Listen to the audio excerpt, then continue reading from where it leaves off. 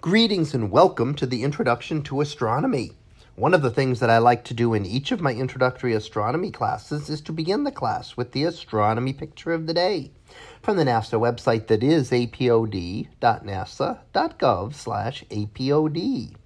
And today's picture for September the 12th of 2020, well, it is titled A Thousand Meteors. So, what do we see here? Well, this is a time lapse video that will run a little over a minute as you play it, and it goes back to April of 2019.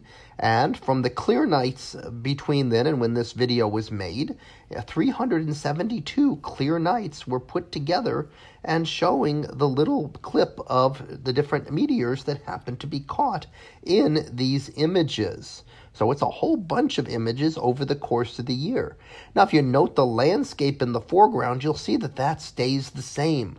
So it will remain unchanged, and we're looking at the same point at the sky and the same positioning, and then you'll be able to watch over the course of the image how this how everything changes and the constellations that will change and appear. So as you play the video, you will see that it starts out and will begin to uh, start with uh, the sky, and you'll be able to see various different meteors that show up.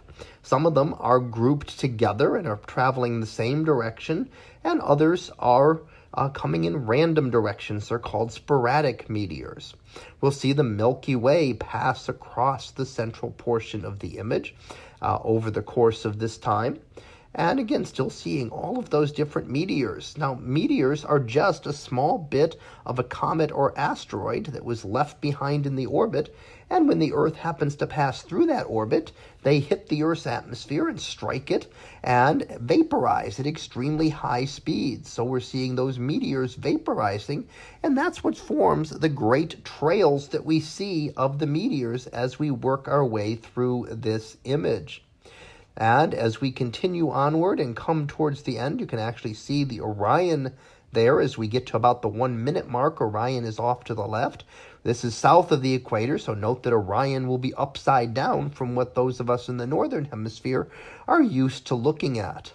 And then now the Orion has disappeared, the Milky Way is long gone off the image, but we're still seeing various meteors from various times of day uh, various times in the night that were taken uh, during these images.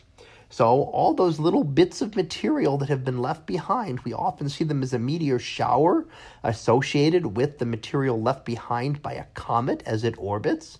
But they can also be other little bits of material or debris that the Earth's atmosphere happens to pick up and when they strike the Earth's atmosphere at very and very high speeds, they will simply vaporize. So these are all small particles that never make it down to the surface of the Earth because our Earth protects us. Uh, our Earth's atmosphere will protect us from them and then allows us to see of the show of a meteor burning up and streaking across the sky. So that was our picture of the day for September the 12th of 2020. It was titled A Thousand Meteors. We'll be back again tomorrow for the next picture, previewed to be bigger than a butterfly. So we'll see what that is about tomorrow. And until then, have a great day, everyone, and I will see you in class.